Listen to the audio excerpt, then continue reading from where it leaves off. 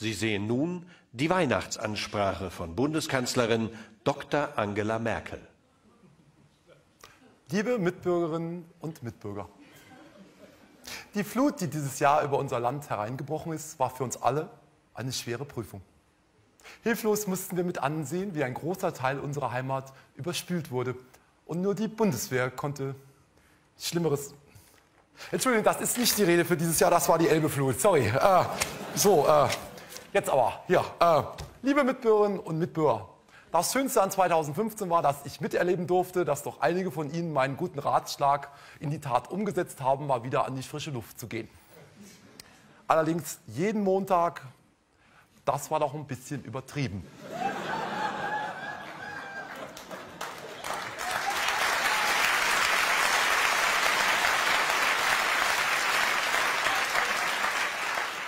In der Flüchtlingspolitik gilt es nun, die Neuankömmlinge nicht nur zu begrüßen, sondern eben auch zu integrieren. Das gilt es nicht. Ich äh, wünsche mir für diese Menschen einen Neuanfang. Ja, in ihrer Heimat. Äh, denn diese Menschen sind auch eine Chance. Ja, um den Mindestlohn wieder aufzuheben. Ich gebe zu, es wird nicht leicht werden. Vor allem da einige Menschen aus dem Süden auf den ersten Blick offensichtlich nicht zu uns zu passen scheinen.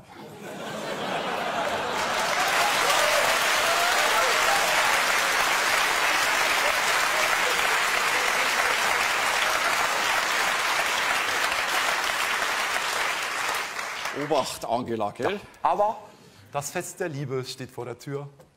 Wir haben den Duft von Lebkuchen in der Luft, weihnachtliche Musik und mein Lieblingsweihnachtsmusikstück ist ja Driving Home for Christmas. Ihr Kinderlein kommet. Vorsicht, wir hatten uns darauf geeinigt, kein Familiennachzug. Was? Das ist meine Weihnachtsansprache. Wir haben das Asylrecht schon längst verschärft. Das reicht aber nicht. Ähm, für viele Menschen bedeutet dieses Land ein Stück weit eine neue Hoffnung. Und genau das ist das Problem. Und deswegen rufe ich den Flüchtlingen an dieser Stelle zu. Gehen Sie weiter. Hier gibt es nichts zu sehen. Hier wollen Sie gar nicht her. Hier gibt es Dinge wie Schlaglöcher, Schnupfen, Markus Söder. Das halten Sie nicht aus. Ja, beim FC Bayern zum Beispiel, da sind alle Spieler gekauft. Horst, halt die Klappe. Die Bundesliga ist die langweiligste Liga aller Zeiten. Helene Fischer gilt bei uns als Musik. Und Neuschwanstein. Neuschwanstein ist ein riesiger. Neuschwanstein ist ein riesiger, kitschiger Scheißhaufen. Liebe Mitbürgerinnen und Mitbürger, damit wünsche ich Ihnen ein frohes Fest. Lassen Sie uns nun gemeinsam zum Ende des Jahres den Weihnachtsbaum anzünden.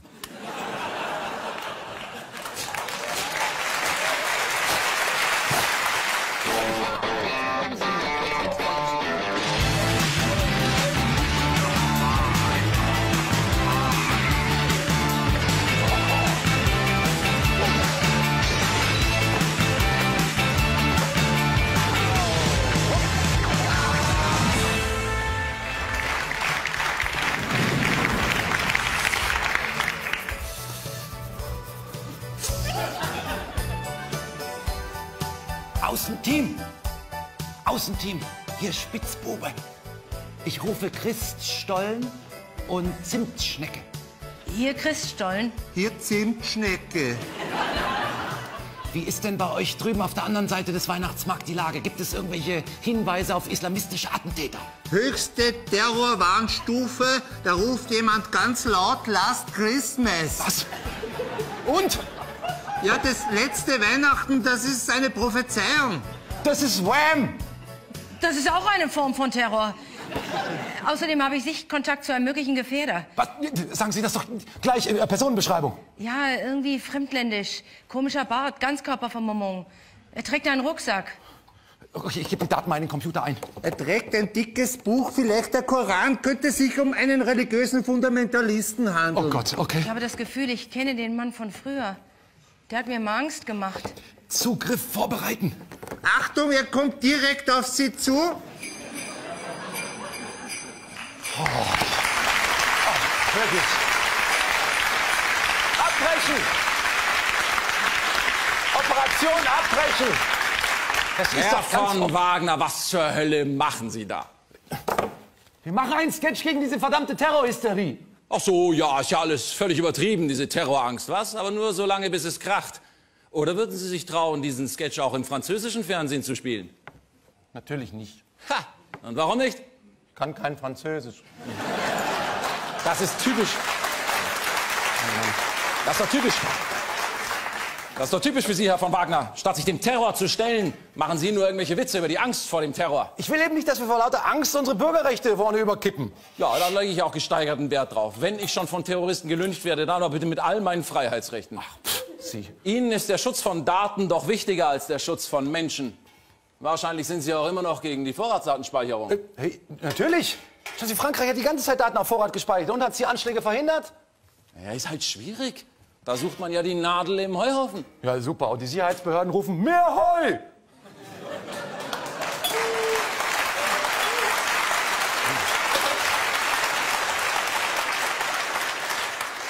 Gutes Argument. Ist nicht von Ihnen, oder? Nee, ist von Sascha Lobo. Wie sollen wir die Terroristen sonst enttarnen? Was weiß ich, mit klassischer Arbeit des Verfassungsschutzes, zum Beispiel Zeitung lesen. Ja. ja, natürlich. Die Attentäter von Paris werden wahrscheinlich vorher über Anschlagspläne in der Zeitung geredet haben, oder?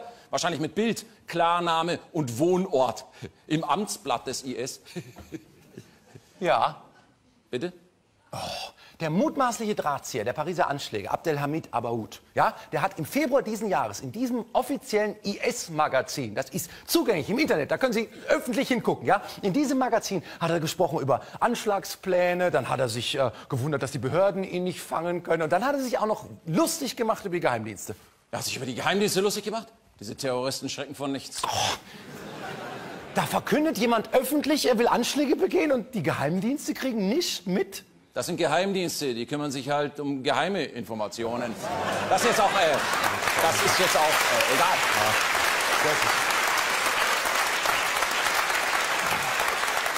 Jetzt ist es eh zu spät, nicht wahr? Jetzt müssen wir vernünftig sein und Krieg führen. Aber haben Sie nicht Angst, wenn wir in den Krieg eingreifen, dass die, dass die Terrorgefahr steigt? Mon Dieu, Sie armseliges Croissant. Ist das, ist das Ihre Vorstellung von Bündnissolidarität? Hören Sie mal zu, Ihr Weihnachtsmarkt, der wird auch am Hindukusch verteidigt oder in Raqqa. Es ist ja nicht so, dass ich nicht auch gegen den IS kämpfe. Schauen Sie mal, das ist kein Glühweinstand, das ist ein Glühwein-Statement. Wie bitte? Das ist das, was die Terroristen wollen, dass wir Angst haben, auf den Weihnachtsmarkt zu gehen. Na, nicht mit mir. Ich stehe hier und trinke für meine Werte. Na, Hauptsache, Sie fahren mit den Werten nicht Auto. Ich habe noch eine Frage. Die meisten Attentäter aus Paris, die stammten ja aus Frankreich oder Belgien. Warum bombardieren wir Syrien und nicht... Also, Sie mal, Sie mal.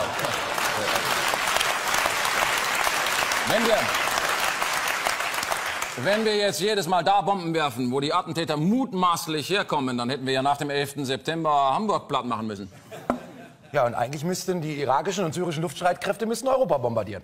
Sie würden wirklich mal den Punsch ohne Alkohol probieren. Hey, nee, wieso denn? Tausende von, von IS-Kämpfern kommen aus der EU. Also rund 700 aus Deutschland. Zig Deutsche haben sich schon in Syrien und Irak in die Luft gesprengt. Vor Zivilisten, Kindern. Warum tut man da nichts dagegen? Na, die sind halt keine Gefahr für den deutschen Weihnachtsmarkt. So. Sie scheinen ja jetzt Terrorexperte geworden zu sein. Ne? Was sollen wir denn Ihrer Meinung nach gegen den IS tun? Wir müssen alle Kräfte mobilisieren, die entsprechenden Streitkräfte verdoppeln und dann müssen wir entschlossen eingreifen.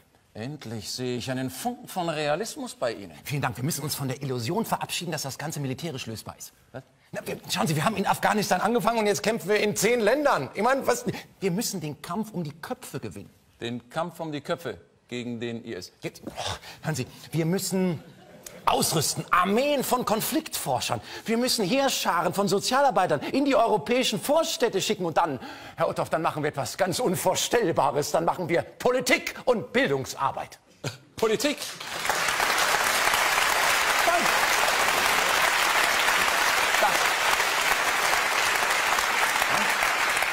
Politik. Das können wir uns gar nicht leisten.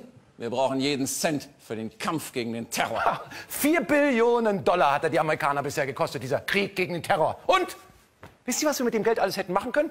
100 Jahre lang alle Menschen auf diesem Planeten ernähren. Oder äh, ein Jahr lang 100 Millionen Sozialarbeiter einstellen.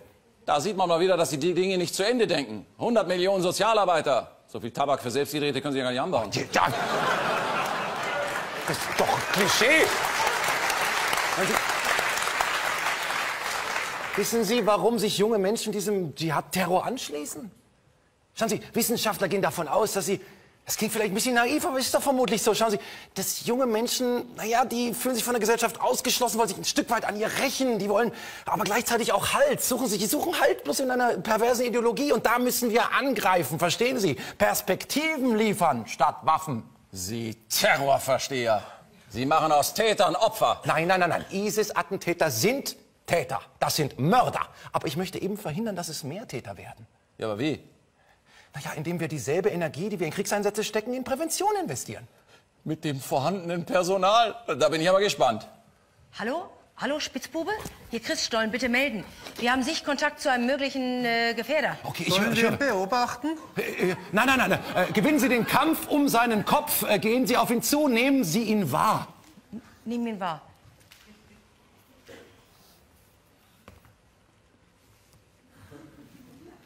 Hallo, was machen Sie da? Ich nehme sie wahr. Schön. Kann ich trotzdem vorbei? Was sollen wir machen? Der reagiert ausweichend. Was weiß ich, äh, äh, nehmen Sie ihn mal nicht als Muslim wahr, sondern als normalen Menschen. Also ich meine, sagen Sie Hallo. Sag Hallo. Hallo? Hallo? Der hat auch Hallo gesagt. Was sollen wir jetzt machen? Äh, Machen Sie was, damit er sich aufgehoben fühlt. Was ich, äh, nehmen Sie ihn fest, also in den Arm. Umarmen. Was machen Sie da? Lassen mich los, Polizei? Der, der lässt sich nicht integrieren. Der ruft schon die Polizei, nur weil man ihn einfach mal nett in den Arm nimmt. Okay, okay, vielleicht müssen Sie eingreifen. Gehen Sie mal hin, sprechen Sie mit ihm, äh, sprechen Sie ihn auf seine Gefühle an. Fühlen Sie sich in unserer Gesellschaft wohl? Also bis gerade eben ging's noch. Dranbleiben, dranbleiben. Äh, Dranbleiben. Ernst nehmen, wahrnehmen, teilnehmen. Fühlen Sie sich als Muslim in Deutschland gut integriert?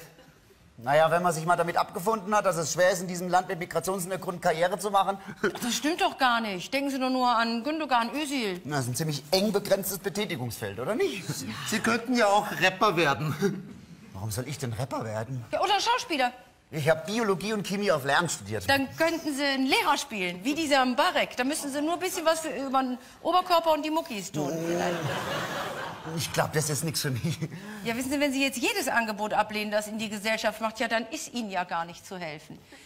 Wissen Sie, wo man als junger, ausgegrenzter, orientierungsloser Moslem prima Karriere machen kann? Bei den Salafisten. Oder? Da hat man ein festes Weltbild, man fühlt sich gebraucht und man kann endlich mal Macht ausüben, statt ohnmächtig zu sein. Das müssen Sie doch gar nicht.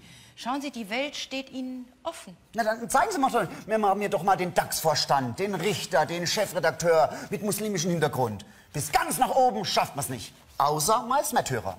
Wie mein Onkel. Oh Gott, äh, Alarm! Dschihadist im Familienumfeld. Nein, der war SPD-Ortsvorstand in Niederbayern.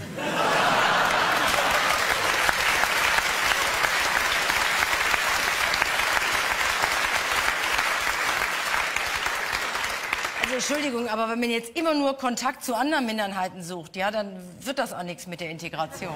Aber, aber, aber Sie, Sie, Sie, Sie haben doch eine Ausbildung. Genau. Sie haben eine Perspektive. Ja. Sie haben keinen Grund, sich zu radikalisieren. Ja, ja, vielleicht nicht wegen meines Schicksals, aber wenn ich mir da die Bilder angucke von Drohnenangriffe auf Zivilisten, Abu Ghraib, der Krieg im Irak, also ich kann schon verstehen, wenn man als Moslem einen Hass bekommt. Schauen Sie, die Bilder sind sicherlich suboptimal, ja, aber das gibt doch niemandem das Recht, einfach ein Täter zu werden. Ja, das Recht nicht, aber ein Grund. Verstehen Sie? Man muss den Nachschub dieser Bilder stoppen, statt immer neue Bilder zu produzieren, indem man Bomben äh, von ferne da draufschmeißt. Verstehen Sie? Mayday, Mayday. Uns gehen die Argumente aus. Verdammt! Ah, Bleiben Sie jetzt! Stark in den Nacken! Ah, ich weiß nicht. Sie, ich habe eine Idee. Improvisieren Sie. Willkommen! Mein Gott, Herr von Wagner, das ist ja der reinste Sozialporno hier. Ganz im Gegenteil. Schauen Sie, nur eine Aufnahme dieser Begegnung der Kulturen. Das ist viel wichtiger gegen den Kampf gegen den IS. Verstehen Sie, das ist viel mehr wert als so, eine, ein, so ein Bombenabwurf. Wir müssen dieses Bild in die Welt schicken, per Twitter, vielleicht mit einem Hashtag, Kopf hoch statt Kopf ab. Ja, ja, nein, dann, und dann... Und dann nehmen wir dem IS auch seine Abkürzung weg. IS steht ab sofort nur noch für internationale Solidarität. Ist es eigentlich ein Problem, dass ich kein Moslem bin? Sie sind was? Katholik, ich bin auf dem Weg zu dem Krippenspiel. Ich bin ein Weiser aus dem Morgenland. Sorry.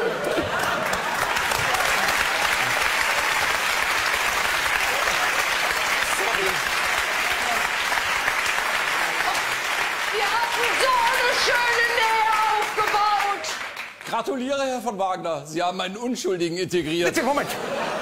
Das ist das Gute an sozialen Maßnahmen. Da kann man auch mal daneben zielen. Ja, man trifft ja nie den Falschen. Plätzchenpazifismus ist Ah, das. Das, ist höchstens ein Kollateralnutzen. Ganz im Gegensatz auf. zu diesen Drohnenangriffen. Ja, scheiß Kollateral. Ja, jetzt hören Sie mir doch mal. Sie laufen immer davon, wenn ich die besseren Argumente habe.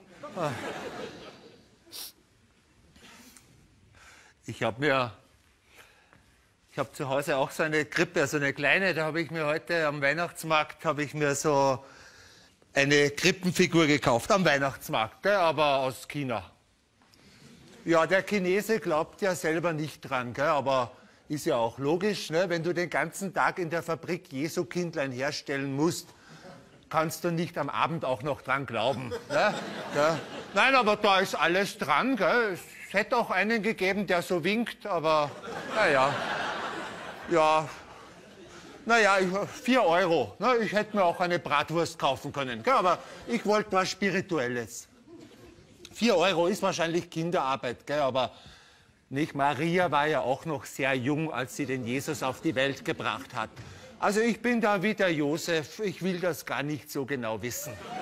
Ja, also, nein, nein, schauen Sie, wissen Sie, es, es, es gibt so viel Schlimmes auf der Welt. Ja, gerade an Weihnachten muss man immer wieder dankbar sein, wenn man das nicht alles sieht. bin auch nicht so für selber machen. Gell? Das ist einfach nicht so mein. Ich habe mir auch den Adventskranz, gell, den habe ich mir vom eBay. Aber da ist auch alles dran. Vier Wochen Rückgaberecht. Ja, da bin ich gespannt. ja. Naja. Nein, wie gesagt, ich bin nicht so für selber machen. Hab, äh, der Boltinger, mein Nachbar, ne, der schnitzt sich die Krippenfiguren selber. Aber wenn du dann den Ochsen nicht vom Josef unterscheiden kannst, also nein, also Nein, ich bin nicht für selber machen. Also, ich habe ja auch jahrelang an Weihnachten von meiner Tante so einen selbstgestrickten Schafwollpullover bekommen. Der hat immer gekratzt, gejuckt. Ich musste ihn immer zum Weihnachtsgottesdienst anziehen. Da saß ich in der Kirchenbank, musste ich still sitzen. Das hat überall gekratzt. Ich habe nur das Kindlein im Stroh liegen sehen und habe mir gedacht, ich weiß, wie du dich fühlst. Nein, ich, ich sagte, ich bin nicht so fürs selber machen. Ist auch bei den Überzeugungen. Also ich habe schon Überzeugungen, aber also ich wüsste jetzt nicht mehr woher. Ja, nein, weil es Menschen gibt, die sagen, man soll nicht alles glauben, gell? man soll lieber selber denken, das wäre doch besser, ne? wie selber kochen, ne? das ist auch besser, als wenn man irgend so ein Fertigfraß kauft, ja, wenn ich koche nicht. Nein, ich habe mir so einen passiven Glauben, ne, dass ich sage, wenn ich merke, dass ich was ohnehin schon glaube, dann bleibe ich da dabei. Nicht, nicht so wie diese Leute, die irgendwas aus irgendeinem so dicken Buch glauben, gell, das vor hunderten Jahren irgendwo geschrieben wurde. Das überzeugt mich nicht. Gell, das habe ich nicht einmal gelesen. Na, weil wenn man es gelesen hätte, nicht, dann wäre man ja gezwungen, es zu glauben. Weil dann sagt man sich noch ein zweites so dickes Buch lesen. Gell, noch eine Gegenmeinung einholen. Na, da sagt man sich doch, ich glaube, äh, ich informiere mich nicht weiter. Aber, aber, ich, aber ich bin tolerant. Gell? Also, ne, wenn jetzt jemand sagen würde, Beispiel, gell, heute beim Weihnachtsmarkt gibt es bei irgendeinem Stand den Glühwein kostenlos, ne, dann würde ich sagen, das glaube ich nicht. Aber ich würde trotzdem hingehen. Nein, weil wie gesagt, bei uns ist der Glaube ja nicht so ein Problem. Ne, wir haben die Trennung von Kirche und Staat. Also wenn bei uns jemand irgendetwas total Verrücktes glaubt, dann berechtigt ihn das nicht automatisch zu einem politischen Amt. Das ist unser Vorteil. Aber es hält ihn auch nicht davon ab. Das ist das Problem.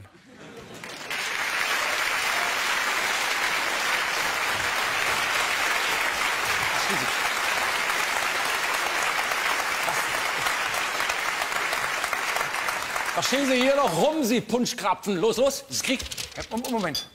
Ich weise die Forderung auf ein militärisches Eingreifen der Bundeswehr hier entschieden zurück. Was reden Sie so geschwollen? Und äh, wie kommen Sie dazu, in einer solchen Stunde die Bundesregierung zu kritisieren? Ich äh, zitiere die Bundesregierung halt nur von September. So, äh, ja, so. So ändern sich die Zeiten. Los, los, gute Freunde, lasst mal nicht warten. Moment, Moment, Moment. Die Bundesregierung hat uns immer gewarnt vor einem Syrien-Eingriff. Es geht hier nicht um Syrien, es geht um Frankreich. Ja, wir brauchen doch zumindest für den Kriegseintritt irgendein UN-Mandat. Naja, äh, bis Paris, nicht wahr? Aber hier darf ich mal Frank-Walter Steinmeier zitieren. Wir sind doch hier nicht in einem Seminar. Das, das wäre wenigstens gut, da würden wir wenigstens was lernen. Sagen Sie mal, Völkerrecht war uns doch bisher sehr, sehr wichtig. Ja, aber nicht, wenn man es eilig hat. Ter Frankreich kämpft gegen eine Terrorbande und wir sind da zur Hilfe verpflichtet. So steht es übrigens auch in der Solidaritätsklausel zum EU-Vertrag. Ist ein Vertrag, kann man nichts machen. Haben Sie wahrscheinlich nicht gelesen, was? Habe ich sehr wohl gelesen. Und zwar genau, da steht drin, wenn ein Land, ein EU-Staat, ein, einen Terrorangriff erleidet, dann können die anderen im Inneren beistehen. Verstehen Sie? Nicht Tornados nach Syrien schicken, sondern Polizisten und ein paar Soldaten in die Pariser Vorstädte. Ist nur ein Vertrag, muss man nicht so eng sehen. Hey, Moment! Militärisches Eingreifen wäre uns nur möglich laut, sagen wir mal, Artikel 42 des EU-Vertrages. Dann nehmen wir halt den. Hauptsache, wir können losschlagen. Ja, Moment, das ist aber das, laut äh, UN-Charta wäre das nur möglich, wenn der Angriff von außen und von einem anderen Staat gewesen wäre. Also wenn wir jetzt in Syrien eingreifen, dann erkennen wir im Prinzip den IS diplomatisch als Staat an. Noch zwei Jahre und die sitzen im FIFA-Vorstand.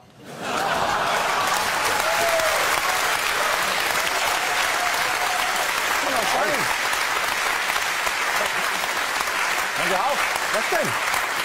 Das hier Krieg, Terror, Staat, Bande, FIFA, das ist doch Wortglauberei. Wenn wir jetzt nicht losschlagen, dann werden wir die IS nie zerstören. Aber bis wir in Syrien wirklich was erreicht haben, da haben die ich weiß, ihr Hauptquartier längst nach ich, Libyen verlegt. Das Einzige, was wir dann zerstört haben, war das Völkerrecht. Ja, und hält sich eh keiner dran. Ja, man hat das Völkerrecht auch geschrieben, um Kriege zu verhindern. Und jetzt nach jedem Terrorangriff können wir uns einen Kriegsgrund basteln, oder was? Außerdem wussten doch, also fast niemand wusste doch, dass wir irgendwelche militärischen Beistandsklauseln im EU-Vertrag haben, oder? Wenn bei Apple die neuen Geschäftsbedingungen kommen, ja, dann klicken Sie doch auch immer einfach nur auf Akzeptieren. Ja, sofort, ohne zu legen. Ach so. Äh, warten Sie. Halt. Dann ist das wirklich wahr? Dann, dann sind wir jetzt im Krieg? Ja, Krieg, Krieg, Kopf hoch, junger Mann. Krieg, wir haben Krieg. Und das zu Weihnachten. Ich krieg Krieg. Also, ja, und, und welchen? Was? Wie? Details. Krieg halt. Ja, wie ein Luftkrieg oder? Ja, ja, Luftkrieg. Aber der hat doch bisher nichts gebracht. Das stimmt, der hat nichts gebracht. Was machen denn die anderen so? Ein Luftkrieg? Da machen wir mit. Nein, ach, der IS soll doch nur durch Bodentruppen irgendwie schlagbar sein. Deutsche Bodentruppen. Auf gar keinen Fall. Aber Sie wollten doch gerade helfen. Ja, aber ohne eigene Verluste. Also mit fremden Bodentruppen. Wenn es nicht anders geht, bin ich durchaus bereit, andere zu opfern. Ja, aber auch mit dem Bösen zusammenarbeiten, du würdest? Was soll denn das? Soll das?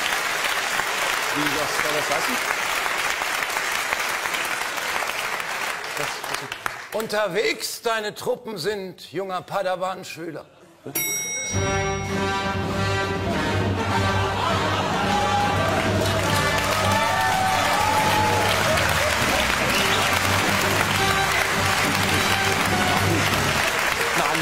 Nicht, kommen Sie, nein, nicht. Nicht, nicht mit dem Assa, kommen Sie, der ist doch selbst das Böse. Endlich ruft er mich. Nur gemeinsam können wir diesen Terror beenden. Ich habe die Bodentruppen, die ihr braucht. Was? Sie? Sie werfen Bomben auf Ihr eigenes Volk? Ja, aber ich habe noch nie Paris angegriffen. Ich kann doch nicht mit jedem zusammenarbeiten, der nicht Paris angegriffen hat.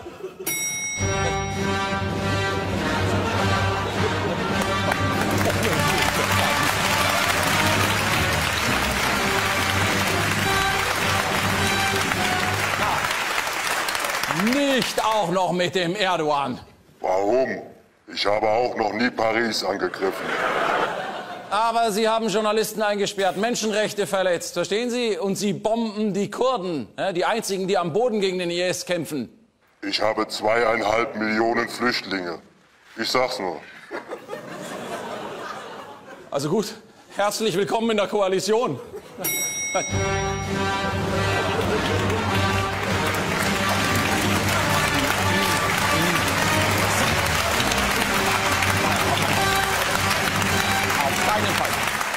Auf keinen Fall mit Putin.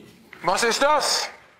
Dachte ich, wenigstens in der Anstalt bin ich willkommen. Bin ich doch der Einzige, der das Böse effektiv aus der Luft bekämpft. Ah, hören Sie auf, effektiv. Sie töten doch hauptsächlich Zivilisten und andere Rebellen. Ich bin Darth Vader. Was erwarten Sie? Ah, Das ist doch. Äh, was, was, was soll das? denn? Was soll das denn? Was soll das denn? Alter. Was soll das denn jetzt? Er hat meinen Flieger kaputt gemacht. Keinen Luftraum. Das ist doch nicht zu fassen. Scheiß Alawit. Scheiß Alawit. Ah, jetzt. Ruhe hier! Aufhören! Du bist nicht unser Vater. Ihr, ihr seid eine. Ihr seid eine.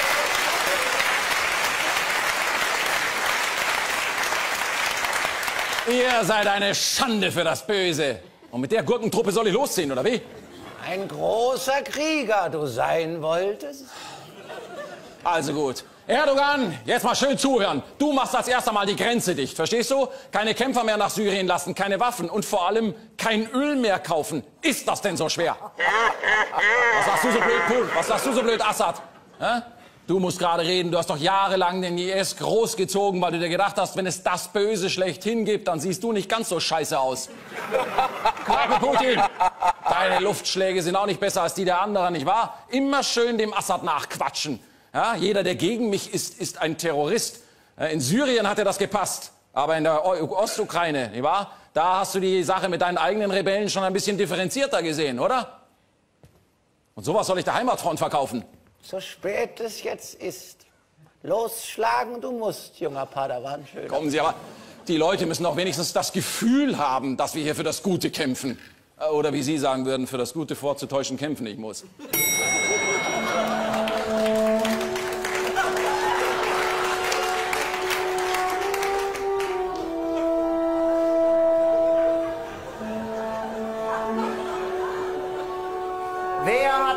Gerufen? Das westliche Bündnis, das hat mir gerade noch gefehlt. Bisher habt ihr finstere Krieger, aber ich kann euch die Werte geben, die ihr für euren Kampf braucht. Ach, paar Werte. Ihre Luftschläge im IS-Gebiet haben schon hunderte Zivilisten getötet. Die können schon mal keine Terroristen mehr werden. Zusammen ihr unschlagbar sein werdet. Au! Was war das? Für die Krim Hört ihr, was soll, was soll das? Ruhe jetzt! Was ist denn nicht zu fassen? Stopp! Reißt euch mal zusammen! Aufstellen! Formation! Nicht zu fassen. So, herhören. Ab jetzt gilt, alles hört auf mein Kommando. Im Kampf gegen den IS müssen wir alle unsere Kräfte bündeln. Wir müssen gemeinsam dem Gegner in die Augen sehen. Wir müssen alle an einem Strang ziehen. Männer, mir nach!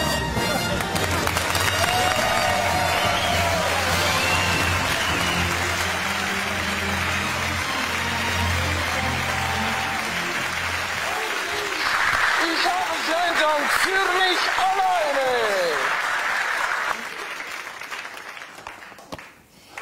Ich frage mich ja immer, ich frage mich immer, wann diese Männer so geworden sind. Ich meine, waren die schon immer so? Oder äh, waren die schon als Sperma ein Arschloch? Oder, oder haben die einfach nur die falschen Weihnachtsgeschenke gekriegt? Ja? Äh, es ist ein, äh, ein gefährliches Fest, was da auf uns zukommt und ein sehr äh, gewichtiges.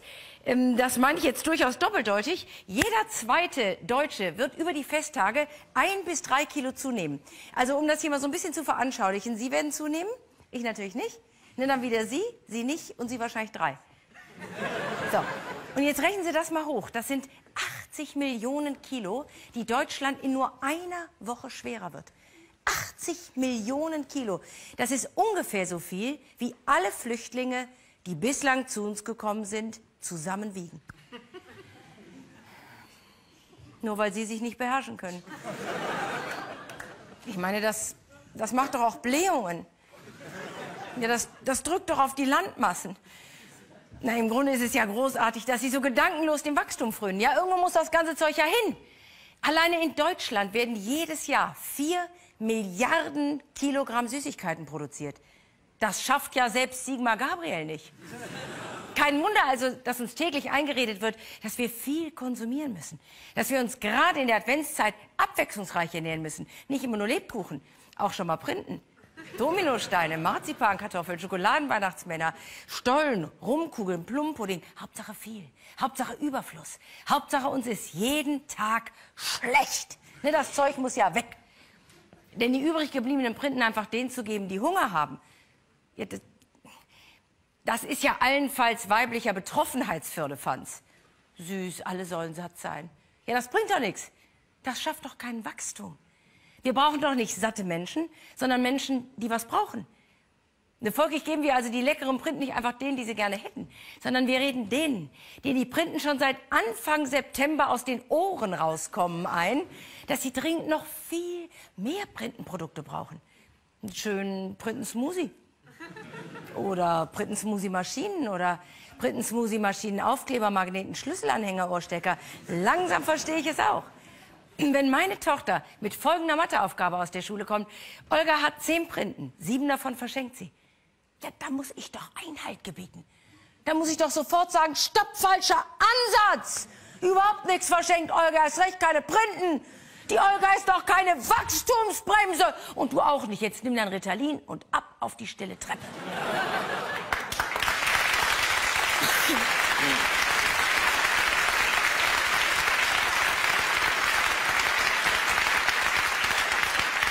Es ist wirklich unglaublich, wie uns jeden Tag eingeredet wird, dass Wachstum das Allheilmittel gegen alles ist.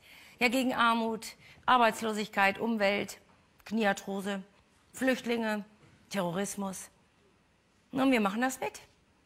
Wir machen es mit. Wir ändern nichts. Wir wissen um die Ungleichverteilung in der Welt. Ja, es ist ja inzwischen sichtbar. Es ist spürbar. Es lässt sich nicht mehr verdrängen. Es lässt sich im Übrigen auch so nicht mehr aufrechterhalten. Aber wir beharren auf unserem Lebensstil. Im Mittelalter hat jeder Hausstand ungefähr 400 Gegenstände besessen. Heute sind es im Schnitt 10.000. Wir wissen, dass wir Deutschen einfach so leben, als stünden uns zweieinhalb Planeten zur Verfügung und scheißen uns in die Hose bei der Vorstellung, unseren, unseren Hausstand von 10.000 auf 9.800 Gegenstände einzudampfen.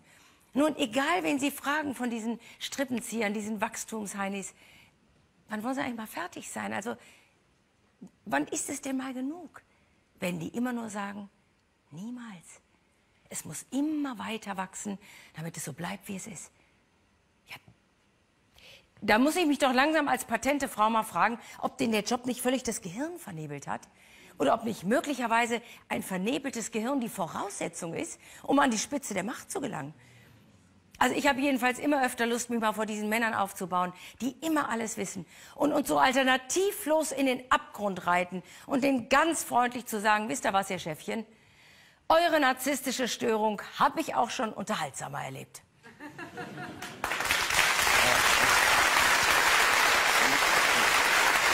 Ja, hallo, ja? Ja, hier. Ja, ja. Hier PR-Agentur, PR-Agentur Blatt und Schutz, Chef persönlich am Apparat. Hallo, Herr Naidu. Bitte? Nein, nein, nein, nein, die Strategie ist richtig. Nein, Sie können uns ruhig vertrauen, Herr Naidu. Äh, überlegen Sie mal, wir waren die PR-Agentur, die Marine Le Pen geraten hat, ihren debilen Vater loszuwerden. Verstehen Sie? Nein, vertrauen Sie mir, einen Imageverlust wäre es nur, wenn Sie zum Eurovision Grand Prix gefahren wären. Ja? Alles klar, Rechnung kommt dann. Gut, ciao, ciao. Ah, Endlich, der verlorene Wüstensohn kehrt zurück, nicht wahr? Entschuldigung. Kommen wir gleich zu unserer PR-Kampagne für Saudi-Arabien. Ja. Da haben wir ja einen ganz dicken Fisch an der Angel. was? Den braten wir uns jetzt mal schön in Öl. also, wie war's beim Kunden? Schöne Burka für Ihre Frau gefunden? Ja, sehen Sie, Sie kennen ja Saudi-Arabien, nicht da wenig Alkohol, das Nachtleben, na ja. Also da hatte ich bei Klosterfrau Melissengeist mehr Spaß. Ernsthaft, Feedback beim Kunden. Wie war's? Das Poster ist ja schon sehr schön geworden. Ja, starke Aussage. Dankeschön. Was steht da eigentlich? Ich glaube, es ist arabisch. Ja, das passt ja dann. Gut. Und äh, was sagt der Kunde? Der Kunde, Saudi-Arabien, das Königshaus ist sehr glücklich mit unserer PR-Strategie. Wir haben ja am Anfang schon einige Erfolge äh, zeitigen können. Sehen Sie mal, als erstes zeige ich Ihnen mal das hier. So, kann ich das mal auf dem Schirm? So, das ist nämlich äh, die Anstalt, weiß nicht, ob Sie das kennen, das sind außenpolitische Experten und die haben in einem Sketch über das Böse im Syrien-Konflikt Saudi-Arabien, also unseren Klienten, gar nicht genannt. Gute Arbeit von Vielen Wagner. Dank, das ist, sehen Sie, Gute Arbeit. ja, jetzt haben wir allerdings noch eine Sache zu klären. Und zwar, es gibt ein Problem, sehen Sie, immer mehr Menschen, naja, vergleichen Saudi-Arabien mit dem IS. Wie kann man die denn verwechseln? Das ist doch ganz einfach. Den, die einen bombardieren wir, den anderen liefern wir die Bomben. Also, Ah, da, das ist äh, richtig, aber sehen Sie, ähm, die beiden, also sage ich mal so, das Produkt ist für den Endverbraucher schwer zu unterscheiden. Also beide haben im Grunde dieselbe Unternehmensphilosophie, den Wahhabismus, so eine Art äh, Steinzeitauslegung des Islam, ganz, ganz harte Nummer. Leute, da müssen wir einfach einen draufsetzen. Äh, wie wär's zum Beispiel mit Wahhabi-Nüsse, extra scharf? Sind die zu stark? Bist du zu schwach? Sehr gut, gut, großartig. Ja. Komm on, da muss es doch Unterschiede geben. Huh? Where's the difference? Äh, der IS hat immer schwarze Kutten an, die Saudis weiße. Wie die Nationalmannschaft. Ja, ich weiß nicht, ob das reicht. Jetzt müssen wir uns vielleicht dann doch noch mal äh, das äh, Rechtssystem von beiden anschauen. Das ist dann doch durchaus, sagen wir mal, ähnlich. Ich habe mal eine kleine PowerPoint vorbereitet. Warten Sie mal, ganz kurz, vielleicht können wir das so sehen. Hier sind die möglichen Bestrafungen im Vergleich links IS, rechts Saudi-Arabien. Bei Homosexualität haben wir Todesstrafe, Todesstrafe. Äh, bei Blasphemie haben wir Todesstrafe, Todesstrafe. Bei Abwendung vom Islam, Moment, äh, ja, Todesstrafe, Todesstrafe. Bei Ehebruch, Lassen Sie mich raten, Todesstrafe, Todesstrafe. Nein, nein, nein, äh, Steinigung, Steinigung. Kommen Sie, kommen Sie, kommen Sie, kommen Sie. Kommen Sie, Relativ ähnlich. kommen Sie. Da, da muss es doch einen Unterschied geben. Strengen Sie sich an, los, los, geben Sie mir irgendwas. Am, am, am Saudi-Arabien köpft nur freitags. Ja, aber dann haben wir's doch. Dann haben wir's doch. Beim IS ist es Barbarei, bei den Saudis ist es eine gute Tradition, wie bei uns. Freitags nur Fisch.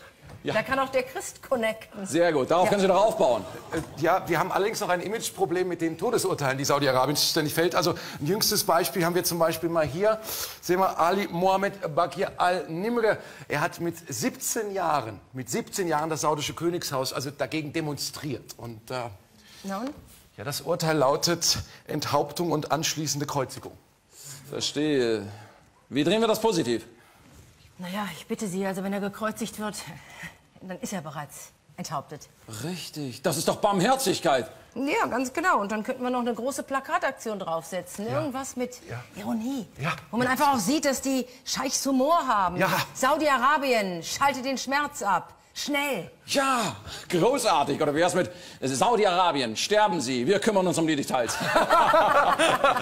Oder, oder Saudi-Arabien, dahinter steckte immer ein kluger Kopf. ne? Als Idee, vielleicht mit so einer Zeitung, ja, wo, wo man dann, also man sieht, Geschmacklos. naja, vielleicht können wir ja Saudi-Arabien französisch aussprechen, um das Gute zu betonen. Saudi-Arabien. Süß.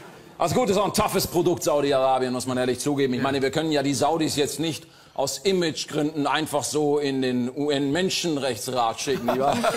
Das, das, das können wir nicht, da sitzen sie ja schon drin. Was? Bitte? Was? Was meinen Sie? Naja, äh, Saudi-Arabien hat den Vorsitz in einem UN-Beratungsgremium, das im Prinzip die Experten aussucht, die dann über Menschenrechtsverletzungen berichten. Ja, aber das können wir doch positiv darstellen. Endlich mal Experten, die was von Menschenrechtsverletzungen verstehen. That's it. Ich sehe den Claim schon vor mir. Menschenrechtsverletzungen, wir tun was. Das, oh. Ja, hallo? Ah, Herr Naidu, ja, bitte. Ja, in der Richtung weitermachen. Was haben Sie gesagt? Die Moslems tragen den neuen Judenstern. Oh, heilige Scheiße. Gut, ja, wir machen's. Aber es wird teuer, sag ich Ihnen gleich. Wird teuer. Keine Frage. Ja, okay. Guten Tag.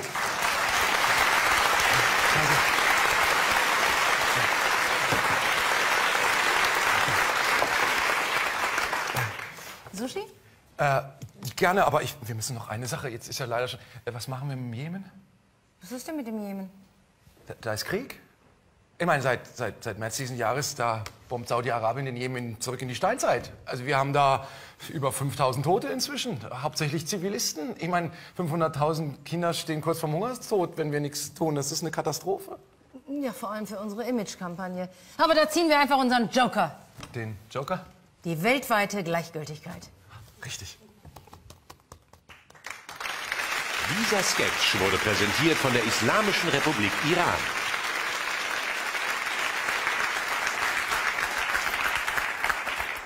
Zimtschnecke an Spitzbube. Zimtschnecke an Spitzbube. Meldung. Keine Terrorgefahr auf dem Weihnachtsmarkt. Was? Ach der, nein, das ist kein Gefährder, der ist von hier. Was soll ich machen? Mit dem, das, das gleiche wie mit dem Islamisten. Naja, ja gut.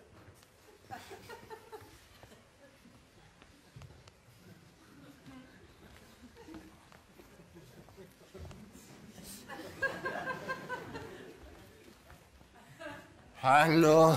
Äh, sagen Sie mal, was machen Sie denn da?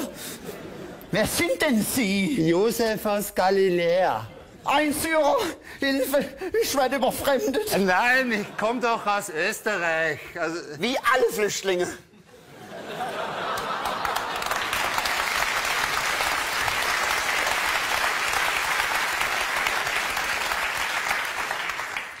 Uns im Osten ist kein Platz für euch. wieso eigentlich? Ihr habt doch 540.000 leerstehende Wohnungen. Das wäre doch Lebensraum im Osten. Ja, aber das ist deutscher Leerstand. Und deutscher Leerstand muss verteidigt werden. Ja, hier, das ist typisch. Egal, egal, ob ihr Raum habt oder braucht, ne? Ausbaden muss es immer der Ausländer. Die Fremde passen halt nicht in die deutsche Kultur. Naja, aber viele Deutsche sind doch auch nicht gerade Goethe-Experten. Ich habe beide Teile gesehen.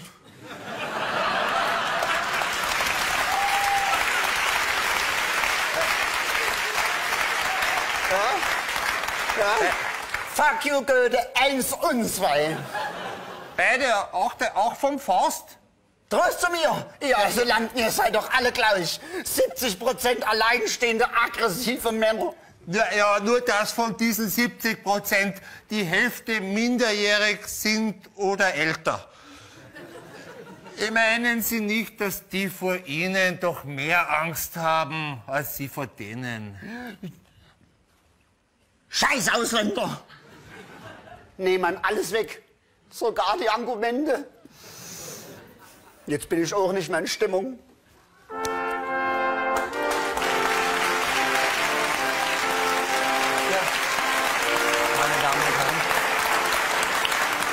Kennen Sie das? Wenn es Ihnen da genauso geht und Weihnachten steht vor der Tür, Ihr Herz wird weich, Sie kriegen eventuell Mitleid mit den Flüchtlingen und Sie kommen nicht so recht in fremdenfeindliche Stimmung? Da haben wir was für Sie. Hier bei der Unkulturzeit auf National TV. Guten Abend, meine Damen und Herren. Wir haben für immer, wie immer für Sie, ein paar Weihnachtsgeschenke zusammengestellt, die unter dem Weihnachtsbaum für die richtige nationale Stimmung sorgen. Zum Beispiel diesen wunderschönen Gastroführer. Der Führer zeigt Ihnen alle Gasthäuser in Deutschland, natürlich ohne Fremdenzimmer. Da weiß man gleich, hier kocht die Volksseele. Lecker.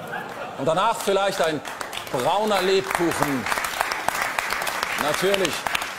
Natürlich aus Nürnberg. Oder mein ganz persönlicher Tipp fürs Weihnachtsfest, um auch den Nachwuchs in die rechte Stimmung zu setzen, ein Chemiebaukasten.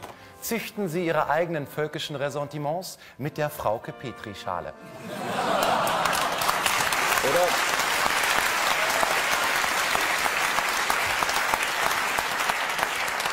Oder wie wäre es vielleicht mit einem Gutschein zum Fest? Vielleicht für einen Wochenendausflug in das bezaubernde Meißen. Meißen? Ist das nicht diese Stadt, in der in zwei Tagen jemand eine Lichterkette machen möchte gegen Fremdenfeindlichkeit. Und das ausgerechnet im Wahlkreis von Thomas de Maizière. Eine Bedrohung für das kalte Deutschland. Zeigen Sie Flagge, kippen sich mal einen wieder hinter die Binde und dann Mut zur Fahne. Am besten, am besten Sie besuchen, am besten Sie besuchen eine Veranstaltung der Initiative Heimatschutz Meißen und machen sich nach dieser völkisch-ideologischen Stärkung auf den Weg zur nur einen Steinwurf entfernten Asylunterkunft. Erleben Sie das Funkeln in den Augen der Kinder, wenn dieses Flüchtlingsheim weihnachtlich illuminiert wird. Übrigens das einzige Feuer, das Sie während der Weihnachtsfeiertage unbeaufsichtigt lassen können. Diese Weihnachtsfeuer gibt es natürlich nicht nur in Meißen, sondern in über 100 anderen deutschen Städten. Bestimmt bald auch in einer Unterkunft in Ihrer Nähe. Und damit kommen wir zu den Buchtipps. Frisch herausgekommen Heideggers Schwarze Hefte. 1700 Seiten Hass und Verachtung. Das Highlight unter jedem Weihnachtsbaum. Martin Heidegger, lange Zeit als klarer Denker verkannt, entpuppt sich hier als der antisemitische Rassist, der er in Wirklichkeit war. Die überraschende Pointe seines Werkes, der Sieg der Alliierten war schlimmer als die Vernichtung der Juden, weil es die Deutschen daran gehindert hat, ihre geschichtliche Mission zu erfüllen. Fesselnd, packend, vier von fünf Hakenkreuzen. Wer es Sehr simpel. Wer es kompakter will, greift vielleicht zu der Aphorismussammlung von Nancy Kensock, einer Autorin des Heimatschutzes Meißen, veröffentlicht im Facebook-Verlag. Ihre Gedanken zur Asylunterkunft, Kammerjägereien und das Ungeziefer raus, aber so desinfiziert, dass sie nie wieder auftauchen.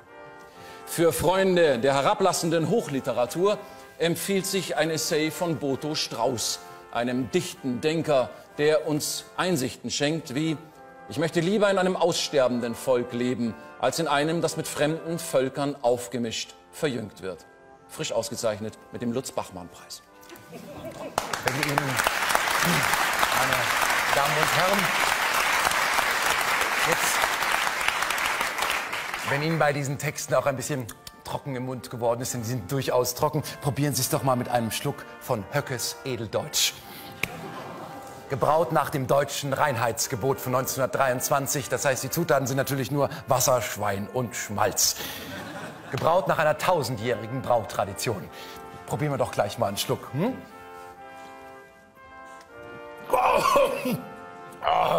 Wir, das deutsche Volk, haben nicht nur das Recht, sondern auch die Pflicht, unseren Kindern in der Mitte von Europa eine deutsche Zukunft zu gestalten. Man sieht gleich, es wirkt.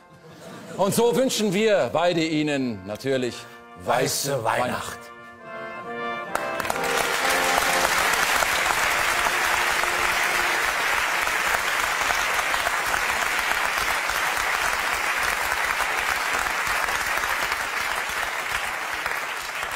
Traurig. Ein ganz klarer Fall von Xenophobie. Xenophobie. Die Angst vor Fremden. Das war schon immer so. Die Perser hatten Angst vor den Griechen, die Griechen vor den Römern, die Römer vor den Germanen. Und als der Mensch, der Homo sapiens aus Afrika nach Europa kam, wer hat auf ihn gewartet? Der Neandertaler. Wilde, grobe Gesellen mit einem Knüppel in der Hand. Großes Maul, kleines Hirn. Wir kennen die Leute aus Dresden.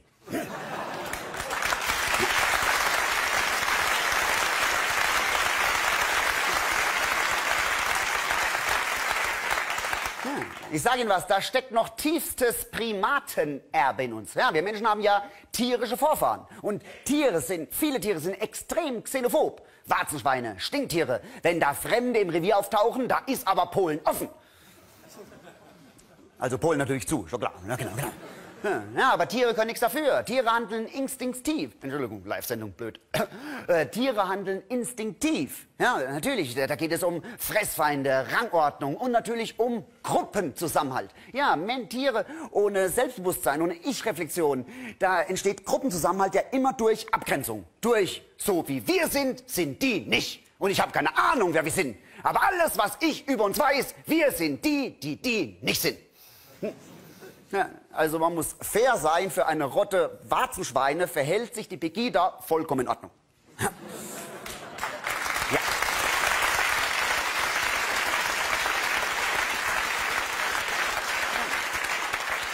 Ja, noch in der Steinzeit mögen solche angeborene Ängste Sinn gemacht haben. Schlangenphobie, Spinnenphobie. Manche Fehler macht man nur einmal, oder? Wenn man die Cobra mit dem Gartenschlauch verwechselt, da ist Schicht im Schacht. Seid zum Ende. Ja. Ja, aber anderes kann vollkommen überflüssig sein. Wie das Steißbein. Das Steißbein, ein Überbleibsel aus der Evolution, als der Mensch noch einen Schwanz hatte. Wenn das Ding uns wenigstens helfen würde, beim Skifahren das Gleichgewicht zu halten, musst du gucken. Ja, und genau so ist es mit der Xenophobie. Und noch schlimmer, hier wird nämlich aus dem Vorteil ein Nachteil. Natürlich, wir, wir Menschen, wir leben nicht mehr in Horden, in Rudeln. Wir rennen nicht mehr durch die Pampa und schlagen uns mit unseren Artgenossen um halb verfaultes Aas. Ja, wir leben in großen, komplexen, sozialen Gemeinschaften. Dazu kommt die Globalisierung, wo ständig alles durcheinander gewürfelt wird. Und da ist natürlich xenophobe Fremdenfeindlichkeit ein totales Handicap. Weil die einzige Möglichkeit, vom Fremden zu profitieren, ist natürlich die Kooperation. Natürlich auch die Durchmischung, genetisch betrachtet. Verstehen Sie? Wer sind die klugen Hunde im Tierreich? Die Mischlinge, die Straßenköter, die alles besteichen, was vier Pfoten hat? Dagegen die Reinrassigen sehen alle ein bisschen dappig aus.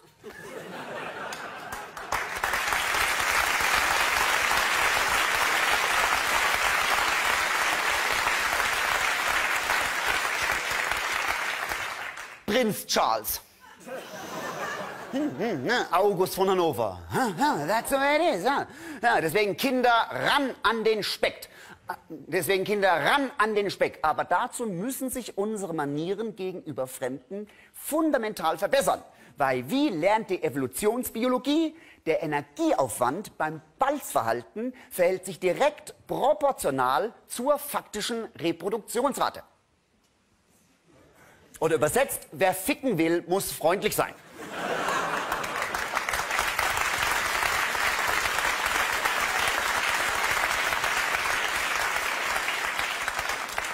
Oder für die rechte Dorfjugend, wenn du die alte knallen willst, darfst du nicht vor die Matratze anzünden. Ist ja klar. Ja.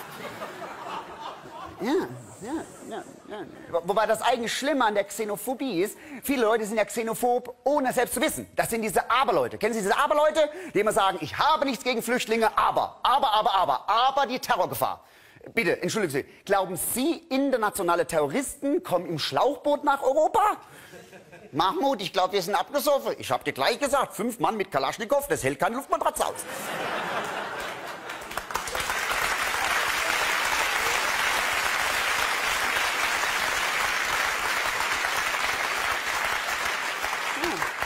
Weil eigentlich wollen Sie nämlich sagen, ich mag keine Flüchtlinge, ich will keine Flüchtlinge. Wer soll denn noch alles kommen? Syrer, Sudanesen, ich habe mich noch nicht mal an die Sachsen gewöhnt.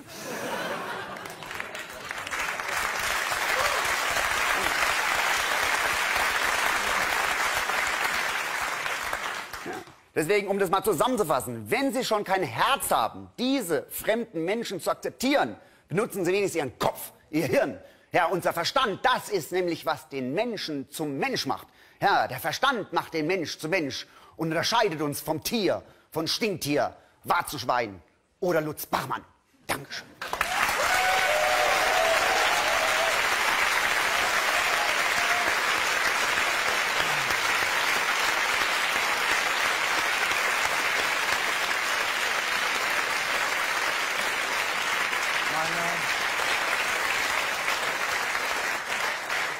Meine Damen und Herren, willkommen zur Bundespressekonferenz.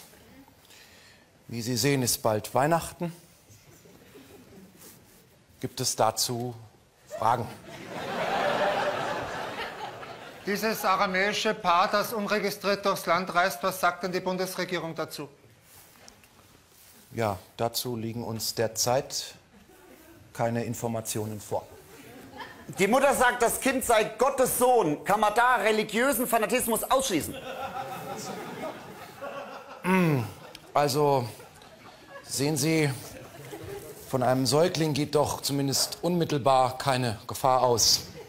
Die beiden geben an, Maria und Josef zu heißen. Was ist mit den Nachnamen? Ja, Ausweispapiere liegen uns derzeit natürlich nicht vor.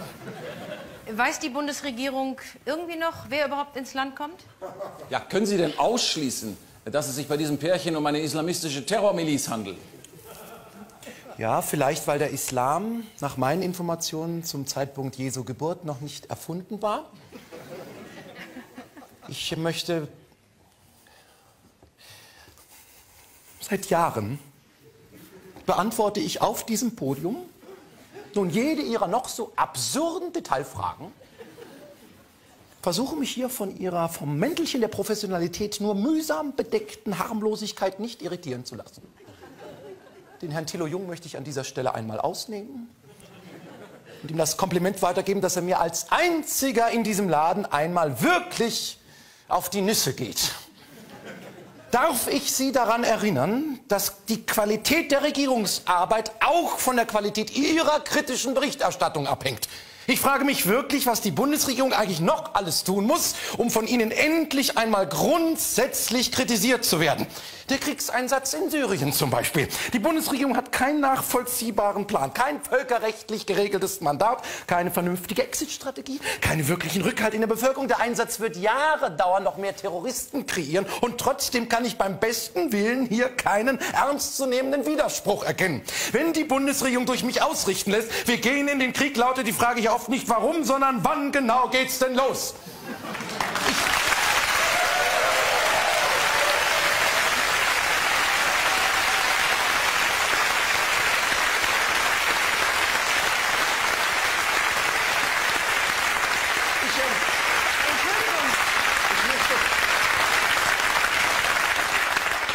Entschuldigung, wann hatten Sie gesagt, geht es los?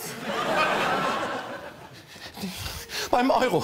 Seit Jahren zwingen wir Griechenland zu einer irrsinnigen Kürzungspolitik. Millionen Menschen werden ins Elend gestürzt. Die besten Ökonomen zerreißen uns dafür in der Luft. Aber trotzdem erntet diese Bundesregierung hier einen Großteil wirklich ausschließlich Beifall. Wie sollen wir das verstehen? Wir, ich meine, wir können ja nicht jede Woche eine Olympia-Umfrage machen, nur um zu gucken, ob der lebendige und denkende Teil der Bevölkerung noch am Leben ist. Ich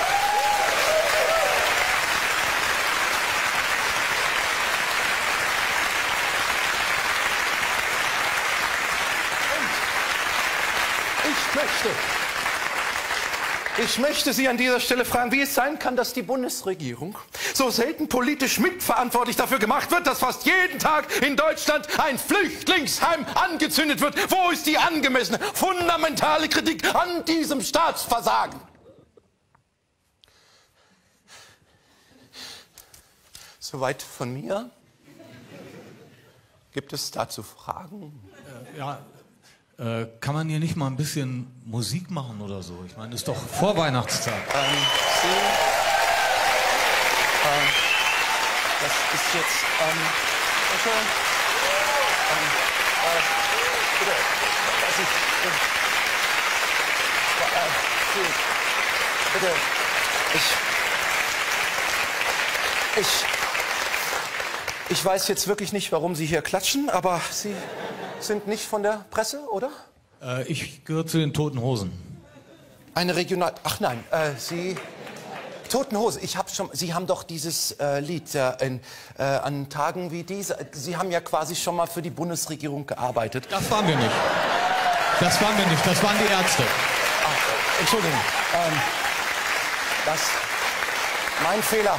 Ähm, und, und, und Sie wollen jetzt hier Musik? Ja, also wir haben so einen Oldie aufgenommen, der ist von vor 20 Jahren und damals war der brandaktuell. Und äh, heute auch wieder. Ähm, darf ich denn zumindest annehmen, dass dieser Song eine gehörige Portion Kritik, Kritik an den herrschenden Verhältnissen enthält? Darauf können Sie sich verlassen. Na, dann hauen Sie rein. Willkommen in Deutschland.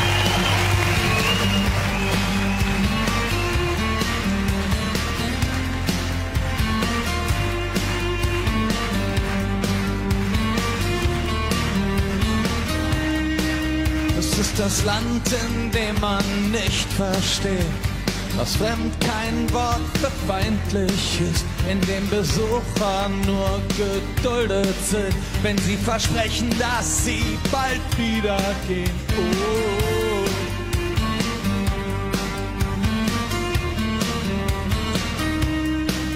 Es ist auch mein Zuhause, selbst wenn's ein Zufall ist. Und irgendwann fällt es auch auf mich zurück, wenn ein Mensch aus einem anderen ohne Angst hier nicht mehr leben kann.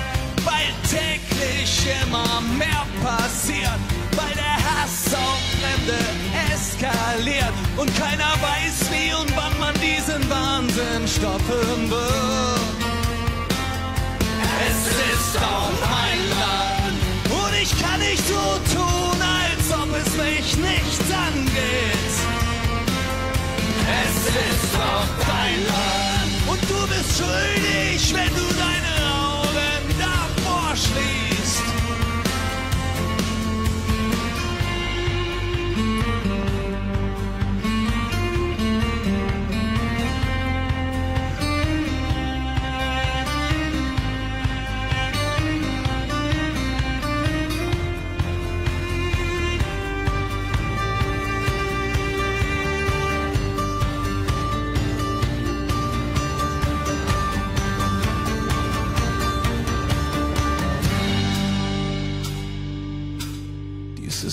Land, in dem so viele schweigen, wenn Pegida auf die Straße geht, um der ganzen Welt und sich selbst zu beweisen, dass die Deutschen wieder die Deutschen sind. Diese Provokation segelt mir und dir, denn auch du und ich, wir kommen von hier. Kein Ausländer, der uns dabei helfen kann. Dieses Problem geht nur uns allein was an. Ich habe keine Lust noch länger zuzusehen. Habe es satt nur zu reden und rumzustehen. Vor diesem